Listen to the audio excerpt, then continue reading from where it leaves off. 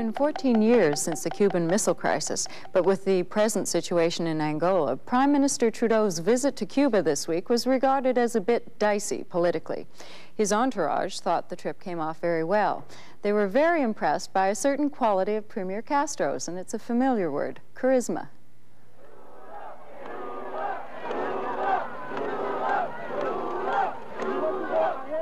Sixteen years ago, Pierre Trudeau tried to paddle a canoe from Miami to Havana, but he was turned back by American authorities.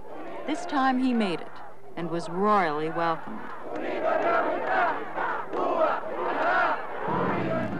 Hours before his arrival, Cubans by the tens of thousands lined the streets.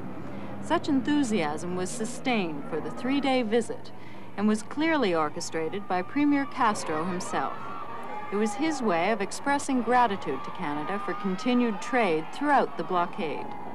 With relations between Cuba and the United States going sour again because of Angola, Premier Castro was eager to strengthen the Canadian-Cuban connection.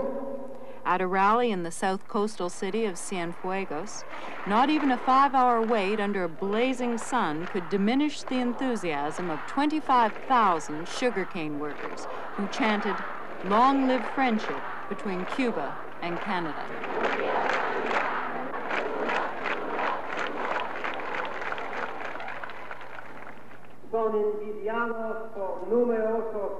The charismatic presence of Dr. Castro is always a drawing card for Cubans, but adding a fluently Spanish-speaking leader like Trudeau made it an event few wanted to miss.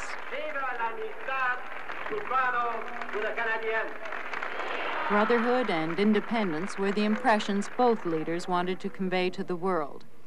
Informal talks at an island hideaway intensified their respect for each other, and their mutual enjoyment of skin diving added to the rapport. The controversial issue of Angola was debated, and Premier Castro defended his position at a Canadian reception. He pointed out that much of his country's population is of African extraction and so a call for solidarity from Angolans to help defend their country against South African invaders justified his support. We cannot do anything fairer than to help the Angolan people. Históricamente está probado. Historically it has been proved. De que that fueron los surafricanos. It was the South Africans. Y las tropas de Zaire las que iniciaron la invasión de Angola. Who began Angola's invasion. Chronologicamente. chronologically. Canada has seen the Angolan conflict as a civil war between various factions within the country, and therefore disapproves of foreign intervention. I certainly came out of the talk with a much greater knowledge uh, of uh, the assessment of the African situation viewed from the particular socialist point of view of Premier Castro. And I hope that he uh, also benefited from some of the ideas and arguments that I put forward. To have a major impact in the international political arena, there was an immense effort to impress Trudeau, and many diplomatic observers believe his visit gave Cuba tentative world status as a legitimate and responsible state, an enormous lift. Castro is a dedicated revolutionary, no doubt about it but as much as it's an old political ploy to hug babies, the Trudeau's youngest son, Michel, wasn't the only one to sense that Castro is not the fanatic, unfeeling leader many think him to be. Mr. Trudeau said there were no anti-American undertones to his visit, although it has ruffled many feathers in Washington.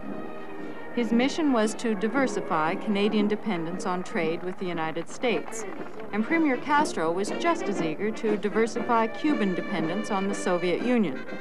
The two leaders now have a personal relationship that ultimately trickles down to intensify people-to-people -people contact, a welcome thought to Canadian tourists Havana bound.